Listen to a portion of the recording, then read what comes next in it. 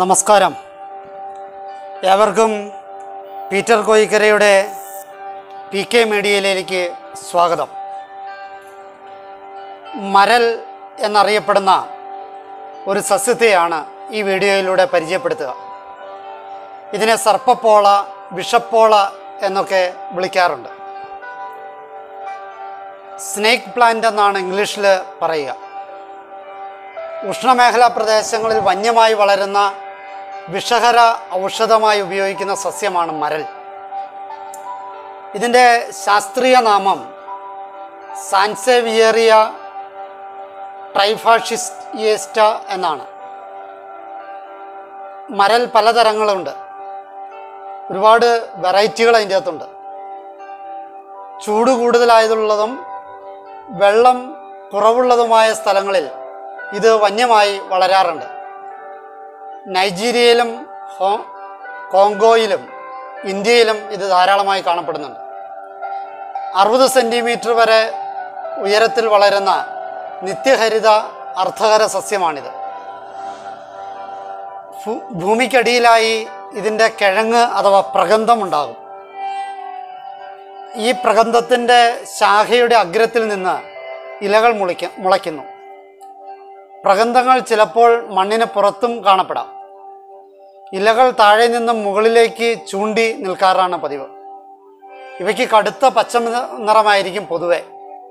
ആറ് തുടങ്ങി ഇരുപത്തഞ്ച് ഇലകൾ വരെ കാണപ്പെടാറുണ്ട്. ഒരു ഇലയ്ക്ക് നാൽപ്പത് തുടങ്ങി അറുപത് സെന്റിമീറ്റർ വരെ നീളമുണ്ടാവാം. അഗ്രം കൂർത്തതാണ്. ഉടനീളം ഇളം മഞ്ഞ നിറത്തിലോ പച്ച നിറത്തിലോ വരകൾ പോലെ കാണാൻ പറ്റും. ഇതിന് വല്ലപ്പോഴുമൊക്കെ ഇത് പൂക്കാറുണ്ട്. വളരെ കൂടുതലായി ഇത് അലങ്കാര സസ്യമായിട്ടാണ് ഉപയോഗപ്പെടുത്തുക. ഇതിന്റെ പേരിന് പിന്നിലുള്ള ചില യാഥാർത്ഥ്യങ്ങൾ അന്വേഷിക്കുക. സസ് സംസ്കൃതത്തിൽ നാഗദമന മൂർവ മരുബഹ എന്നൊക്കെ ഒക്കെ ഇതിനെ വിളിക്കാറുണ്ട്. തമിഴിൽ ഇതിനെ മരുൽ മട്ടമഞ്ചി എന്നൊക്കെയാണ് പറയുക. ഇംഗ്ലീഷിൽ സ്നേക്ക് പ്ലാന്റ് എന്നീ സസ്യത്തെ വിളിക്കാൻ കാരണം ഇതിന്റെ ആകൃതിയും വിഷഹര സ്വഭാവവും പരിഗണിച്ചാണ്. ഇംഗ്ലീഷിൽ മദറിൻ മദറിൻ ലോസ് ടങ്ക് എന്ന് വിളിക്കാറുണ്ട്. അതിന്റെ കാരണം ഇതിന്റെ പോളയ്ക്ക് നാക്കിന്റെ രൂപസാദൃശ്യമുള്ളതിനാലും പഴയ കാലങ്ങളിൽ അമ്മാവി അമ്മയുടെ നാക്കിന്റെ നീളത്തെ കളിയാക്കാനുമൊക്കെ ആയിട്ടാണ് ഇത് ഉപയോഗിച്ചിരുന്നത്. ഈ പോളയുടെ രൂപത്തിനനുസരിച്ച് പല ഭാഷകളിലും പല പേരുകൾ ഇതിനുണ്ട്. യുറേഷ്യയിൽ കടുവവാൽ എന്ന അർത്ഥത്തിലുള്ള പദമാണ് ഉപയോഗിക്കുക. ചൈനീസ് ഭാഷയിൽ പുലിയുടെ വാൽ എന്ന അർത്ഥത്തിലുള്ള പദമാണ് ഇതിനെ വിളിക്കാൻ ഉപയോഗിക്കുക.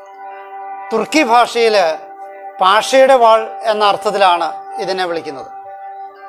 സ്പാനിഷ് ഭാഷയിൽ ജോർജിന്റെ വാൾ എന്ന് ഈ സസ്യത്തെ വിളിക്കാറുണ്ട്.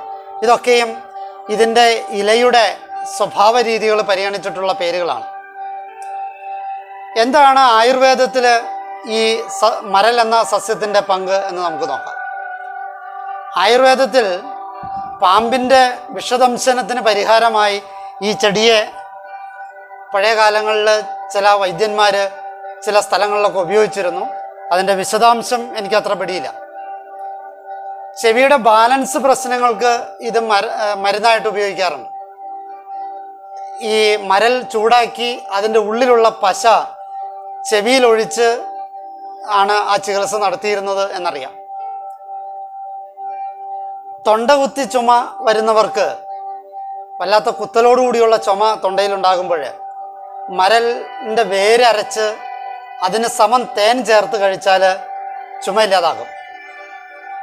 ഇതിന്റെ കിഴങ്ങ് ഉണക്കിപ്പൊടിച്ച് അതിന് തുല്യമായി വറുത്ത ജീരകം അതായത് ചട്ടിയിലിട്ട് വറുത്ത ജീരകം ചേർത്ത് ഒരു നുള്ള് തേനിൽ രാവിലെയും രാത്രിയും കഴി ഒരു നുള്ള് തേനിൽ കഴിയണം.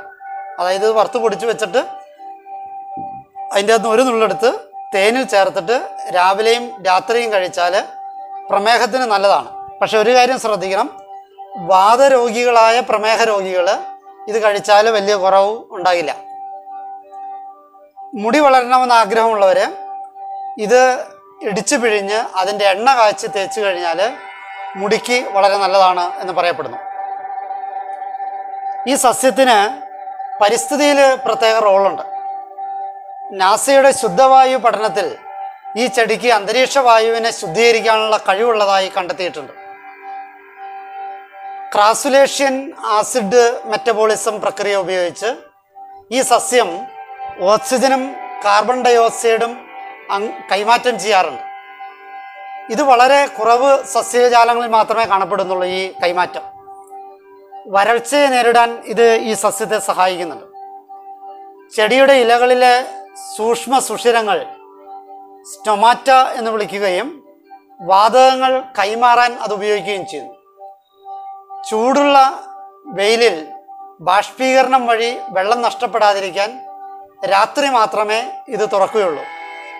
തൽഫലമായി സംഭരിച്ചു വെച്ച ഓക്സിജൻ രാത്രിയിൽ സ്റ്റൊമാറ്റ തുറക്കുമ്പോൾ പുറത്തുവിടുന്നു അങ്ങനെ രാത്രിയിലും ഓക്സിജൻ ഉണ്ടാക്കാനുള്ള പ്രത്യേകമായ കഴിവ് ഈ സസ്യത്തിനുണ്ട്.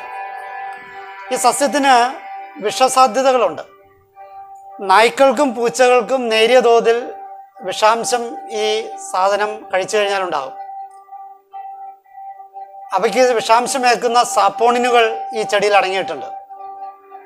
ഇത് കഴിച്ചാൽ അവയുടെ നായ്ക്കളുടെയും പൂച്ചകളുടെയും ഒക്കെ ദഹനനാളത്തിൽ അസ്വസ്ഥതകൾ ഉണ്ടാകും അതുപോലെ തന്നെ ഇത് കൊതുകിനുള്ള വിഷമാണ്. മരൽ ഉണക്കി പുകച്ചാൽ കൊതുക് പോകും. പക്ഷേ അത് വീടിനകത്ത് ചെയ്യരുത്. കാരണം ആ അതിന്റെ അകത്ത് വിഷാംശം ഉണ്ട്. ആ വിഷാംശം മനുഷ്യനും അല്പസ്വല്പമൊക്കെ ദോഷങ്ങൾ ഉണ്ടാക്കിയെന്ന് വരാം. പണ്ട് പശുവിന്റെ തൊഴുത്തിൽ ഇത് പുകയ്ക്കാറുണ്ടായിരുന്നു. അങ്ങനെ കീടങ്ങളെ ഓടിച്ചിരുന്നു. വിഷപ്പോള എന്നറിയപ്പെടുന്ന സർപ്പപ്പോള എന്നറിയപ്പെടുന്ന മരൽ എന്ന ഔദ്യോഗിക പേരുള്ള ഈ സസ്യം പലർക്കും അതിന്റെ പേര് അറിയില്ല എന്നുള്ളതാണ് സത്യം. പക്ഷേ ഇത് പല വിധത്തിൽ ഉപകാരപ്പെടുന്നതാണ്. വിഷാംശമുള്ളതുകൊണ്ട് സൂക്ഷിച്ച് വേണം ഉപയോഗിക്കാൻ. സൈഡ് എഫക്റ്റുകൾ ഉണ്ടാകും. അപ്പോൾ അതുകൊണ്ട് ശ്രദ്ധാപൂർവം ഇതിനെ കൈകാര്യം ചെയ്യണം എന്ന് അഭ്യർത്ഥിക്കുന്നു. എന്നെ ശ്രവിച്ച നിങ്ങൾക്ക് നന്ദി. നല്ല നമസ്കാരം.